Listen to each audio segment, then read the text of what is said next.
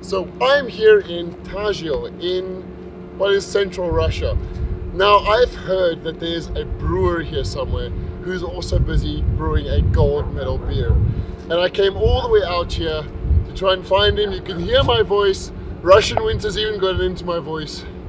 But uh, yeah, come along with me and we'll find this guy together.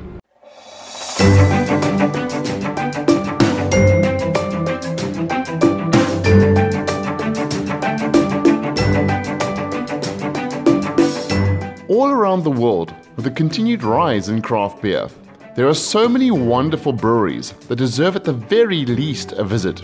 Consider this series your guide to globe-trotting the best of the world's craft beer scene.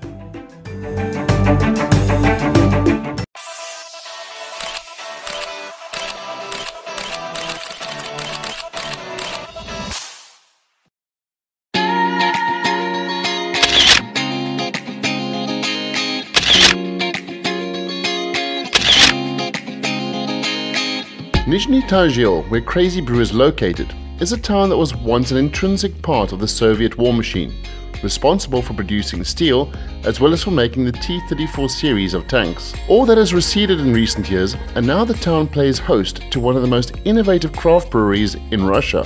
Hi there guys, my name is Guilherme, I'm from Brazil. Uh, we work here at Crazy Brew, the beautiful brewery we have here. A little bit about myself, I graduated on VLB Berlin as a certified brewmaster.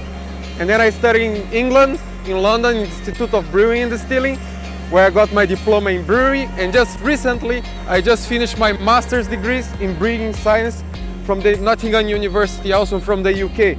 Uh, so come, come with me, let me show you a little bit of the work we do here.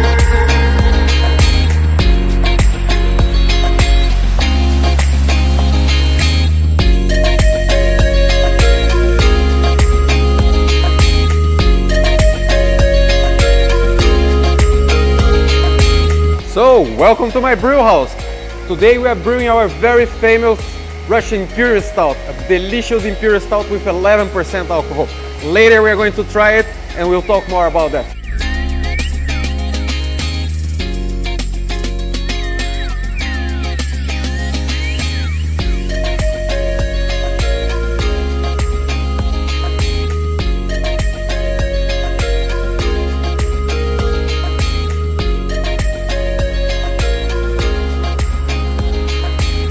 Yeah, so for this Imperial Stout, we are looking for a very full-bodied with little roasted notes. And then to achieve that, we use some very special malts from Castle Malting.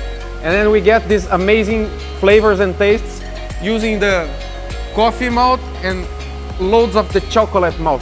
And it gives a very smooth finish to the beer with nice coffee notes. It's very good. So after hearing so much about the stout and reading up on it, I can't wait to taste it. Now we're going to head down to the cafe that they also own and see what it's all about. So yeah, we are here at Crazy Brew, here with my buddy Guillermo, and this guy has actually got an Imperial Stout that took a gold award. Tell me more about that.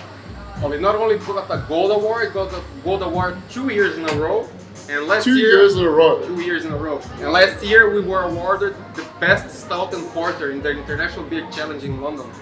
Wow, man! So this guy knows what he's doing when it comes to stout. Yeah. So tell me, what were you thinking about, like uh, when you when you brewed this? Well, first of all, I wanted a strong beer. I love dark beers, so I wanted to be strong, and I want to be the strongest beer in Russia. So that's why we set the alcohol content to 11%. So we start from there. And of course, we want it to be very drinkable, not just pure alcohol, so it had to be very well balanced. So in order to achieve that, we used loads of coffee malt and chocolate malt from Castle Malting. That gives gotta have Castle malt, man. Yeah, have to have it. Cannot do without it. So then it gives loads of coffee, nutty notes, and especially the chocolate malt gives deeper color and doesn't have that astringent, which is not very good when you use very darker malts. So it's perfect for our style. That's how. Fantastic, man. We, we, we like hearing that kind of thing at Castle Malting. Cool, man. So, but proofs in the pudding, man. I've got to get my lips around one of these. So okay, let's do it. Pour one. That delicious head. Look at that foam. Yeah, it has a beautiful foam thanks to the castle malting. Because otherwise, if you use any other malt, the foam just collapses because of the alcohol content. So you have to have this creamy foam. So this is was the Yeah. the second most important thing that we were looking for. Now remember, I mean, this is just standard CO2. This is not uh, nitro. No, Look at that. I'll show you guys a close up of this in a minute. But um, yeah, man. Cheers, Guillermo. hope you enjoy it.